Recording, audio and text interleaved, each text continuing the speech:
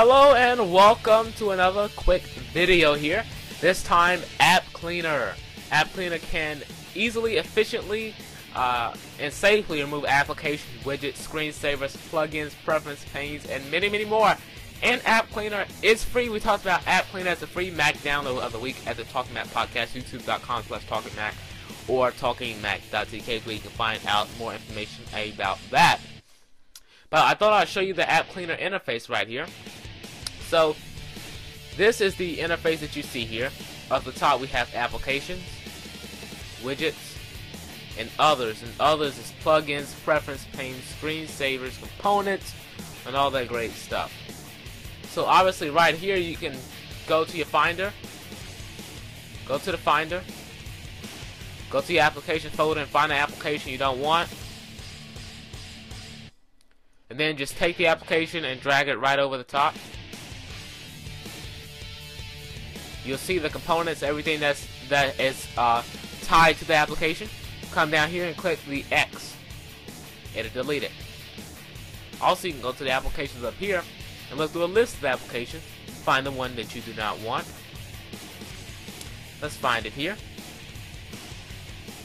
There it is. Just click it.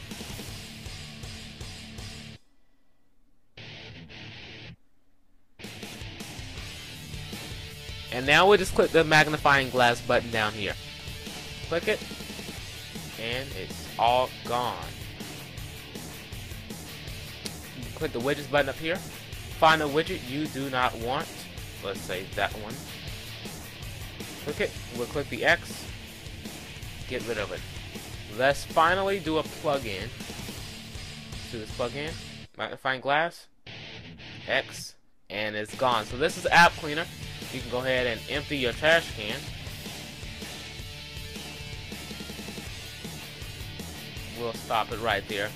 But this is App Cleaner. You can find more about App Cleaner at youtube.com slash talkingmac or talkingmac.tk for the Talking Mac podcast. And visit our website, youtube.com slash talkingmac and youtube.com slash techcentral1. One for Mac stuff and one for Mac stuff and Windows stuff if you're into that sort of thing. Thanks for viewing this episode of Mac Tips and Tricks. If you have a tip or trick for macOS 10 or any application that runs in macOS 10, feel free to email us at ihavemactips at gmail.com. That's ihavemactips at gmail.com. And visit our website, www.mactipsandtricks.tk. That's mactipsandtricks.tk. Or visit our blog, mactipsandtricks.wordpress.com. We'll see you there.